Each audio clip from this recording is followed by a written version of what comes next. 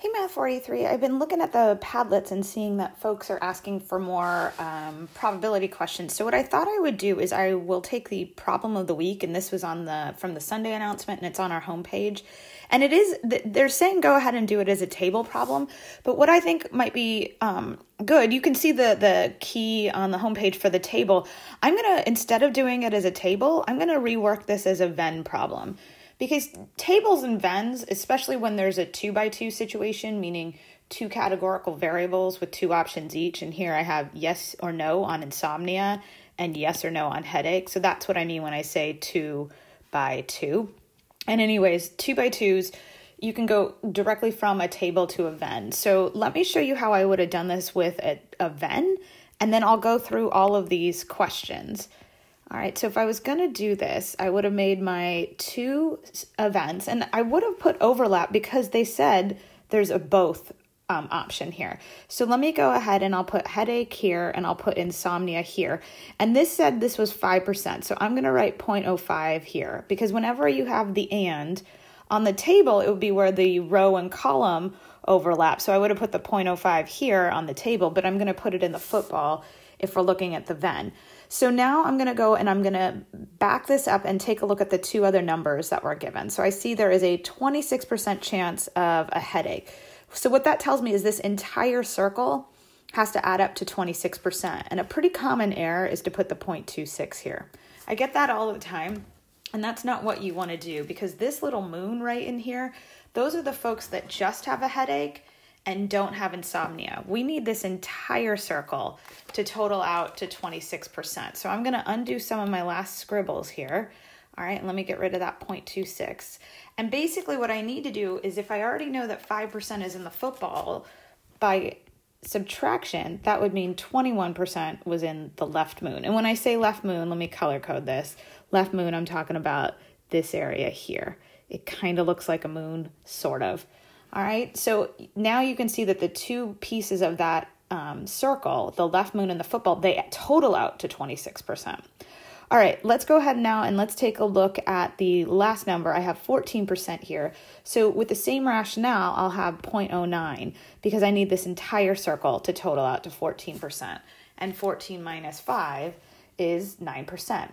Now, I have my three events. I have headaches and not insomnia, headache and insomnia, insomnia and not headaches, but I need the neithers, right? I need the ones that neither have a headache and neither have insomnia. So what I'm going to do is I'm going to add up my three numbers here. And if I look at that, it looks like it totals out to 35% because 21 and 9 is 30, 30 and 35, 30 and 5 is 35%. And when I subtract that from 1, right, if I've accounted for basically 35%, then that means the, the number that goes in this complement, or I should say in the rest of the universe, is 0.65. All right, so I've got my working Venn diagram and let's let's start figuring this out. So it says, what's the probability that a person does not experience insomnia? So for part B, I want the probability of not experiencing insomnia. So I complement. So if I look at I, and actually before I go into this, let me erase all of the little shadings I have here so that maybe we can talk about these individually. Okay, so if I want to talk about I complement, let's look at I for a second. If you look at I, and I shade that entire circle, we can see that the probability of I is 14%. So using the complement rule, this would be 1 minus 0.14, so that would get me to 0.86. Okay, and that's that one. All right, let's look at C. What is the probability that you experience neither a headache nor insomnia? And again, let me just erase my shadings here. So if I want neither, this would be I complement and H complement. You also could have written it as H complement and I complement. The order when you have an and doesn't matter.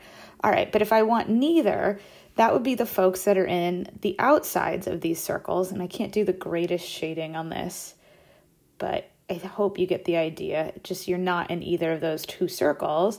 And we have that number represented down here with 65%.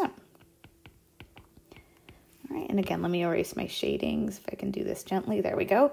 All right, let's look at part D and see what this says. It says, what is the probability that you experience a headache but not insomnia? So I want the probability that I have a headache and At the same time, I do not have insomnia. All right, so as we start to go through this, let's see which part of the Venn diagram I want to include. So if I want a headache, that puts me in here. But on top of that, I need to not have insomnia, right? So I need to actually get rid of, and let me color code this again. I don't want the football, right? So if I'm talking headache and not insomnia, it's this part of the Venn diagram. These are the people that have the headache and at the same time do not have insomnia, right? They're not in that insomnia circle. So that number right there is just going to be 21% or 0.21. All right, and again, let me try and see if I can just very gently get rid of some of this shading. Oh, I did it. All right, let's see what E says. All right, what is the probability that you, oh, this is the other way, insomnia and not a headache. So now I have insomnia and not a headache. All right, so if it's insomnia and not a headache, that's going to be over here. It's the right moon, so that's going to be 9%. All right, and then let's see F. What is the probability that you don't have a headache? All right, and I forgot to erase my scribbles. Let me erase some scribbles. All right, so the probability of headache complement. Okay, well, if I look at my headaches, my headache folks are in here. All right, and if we add that up, that is what, 26%? So the complement rule would say go 1 minus 0.26, and that would get me to 0.74. All right, and then last but not least, what do we have for G? What is the probability that you experience headache or insomnia. So, probability of headache or insomnia. Now, you have a couple ways you could do this. You could use the formula, you could do the probability of a headache plus the probability of insomnia minus their overlap. And if I go through that, sorry, let me erase my shadings here. If I go through that, we know the probability of having a headache is 26%. The probability of having insomnia is, what did we say, 14% and their overlap is 0.05. And I'll just show it to you graphically again, right? The 26% comes from these folks, right? The 21 plus 5%. There's my 26 for headache. All right, and then let me get a different color up here. And let's look at the 14% we had for insomnia, right? And what got counted twice? The football, right? You can see the football got counted in the 26% and in the um, 14%, right? It was counted in here and here. It was double counted, which is why we subtracted out once for balance. And so let me again kind of erase my scribbles. So if I add these up, that looks like that is what? Um, 26 and 14 is 40. 40 minus 5 is 35. So my answer is 35%. And when you practice Venn diagrams enough, and I'm not sure if you're there yet. I happen to be because I've been doing this for a while. So this is not me doing some kind of humble brag. But I, I know that when I have a Venn diagram, if I want the or, I just need to add these three numbers together. And we had seen that there. All right. So that's how you could have done this entire problem um, using a Venn diagram rather than a table. And just for fun, I want to add this in. I want to add like, let's call this part H, our headache, and insomnia independent right? Because i think that sometimes we have trouble doing those types of problems. So if they were independent i would look at is the probability of headache and insomnia equal to the probability of a headache times the probability of insomnia? Let's see. So headache and insomnia we said that was the football that was 5% is that equal to well headache is 26% and insomnia is 14% and i'm going to get my calculator out and let me just do this. All right, 26 times 14 is about 0.036. So I have 0.05. Is that equal to 0.0364? And it's not. So are they independent? The answer is no. All right, and if I wanted to add on, are they disjoint? All right, give me a moment.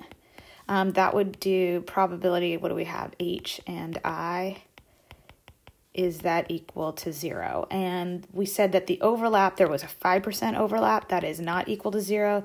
So the answer there is no.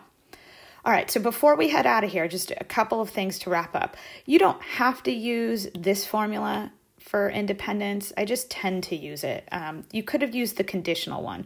We could have said, is the probability of H given I equal to the probability of H? We could have done it that way. I'll put a little question mark there. Or we could have even gone, is the probability of I given H equal to the probability of I. So you could have done the conditional version. I just, for whatever reason, I tend to just default to the and.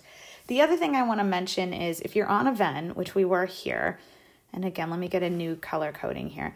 Anytime you have an and like that, and I had three of them, it's some part of the Venn, And when I say some, I know that's very vague. When I say some part of the Venn, let me erase all my scribbles one more time. When I say some part of the Venn, it's either going to be the left football, all right? It might be the right football. It could be our, our standard and is always the, the football. And then if it's um, both complements, which we saw um, on part C, when it's neither, all right, that's the what I call or reference as the rest of the universe. And I, I'm not going to do a great job coloring this in.